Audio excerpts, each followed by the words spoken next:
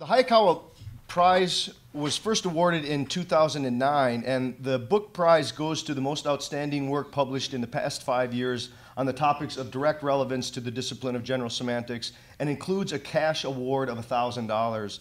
This year's Hayakawa Book Prize goes to Elizabeth Kolbert, a staff writer at The New Yorker, for her book, The Sixth Extinction An Unnatural History, which covers past mass extinctions and demonstrates that the Earth and humans are in the midst of a sixth mass extinction that can only be averted with a paradigm shift in how humans treat the planet.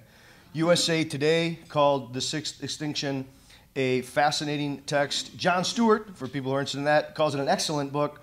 And the New York Times said that Miss Kolbert shows in these pages that she can write with elegiac poetry about vanishing creatures of this planet, but the real power of her book resides in the hard sciences and historical context that she delivers here, documenting the mounting losses that human beings are leaving in their wake. Unfortunately, Ms. Kolbert cannot be here in person to receive her award as she is traveling on assignment.